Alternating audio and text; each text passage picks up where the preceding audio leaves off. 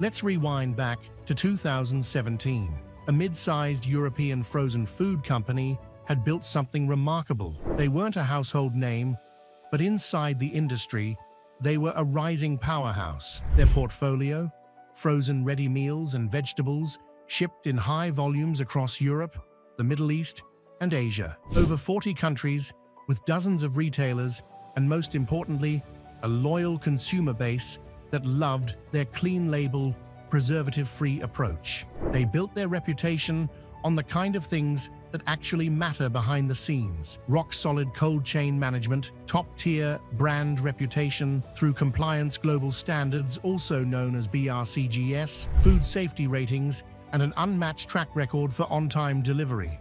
On paper, everything looked airtight. Behind that success was a paper trail of trust, detailed HACCP plans, strict allergen control protocols, verified supplier audits, and stacks of export health certificates.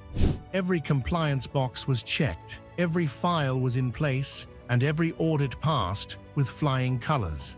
But buried deep inside their quality system was a blind spot. The company had updated equipment, changed suppliers, and adjusted processes over time. But their hazard analysis plan? It was never updated to reflect those changes. The forgotten step, HACCP revalidation, in food safety, it's not always the big systems that fail, it's the small steps that get skipped. One of the most overlooked, yet critical of those steps that they forgot was HACCP revalidation. It's not just paperwork, it's a formal review that asks one question. Does your food safety plan still protect against every known hazard, especially after changes in ingredients, equipment, or processes?